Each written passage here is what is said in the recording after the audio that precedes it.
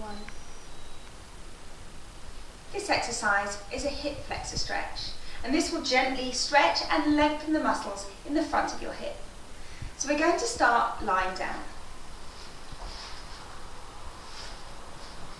To keep your head in line with your spine, you may want to use a cushion or a small block.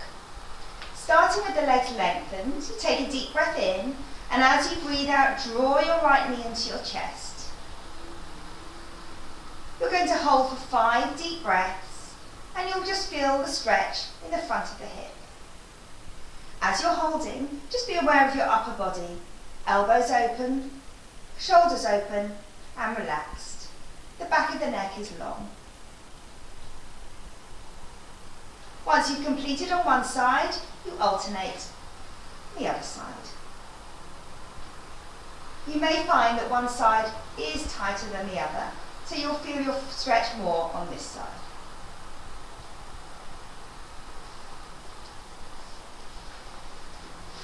And that's the hip flexor stretch.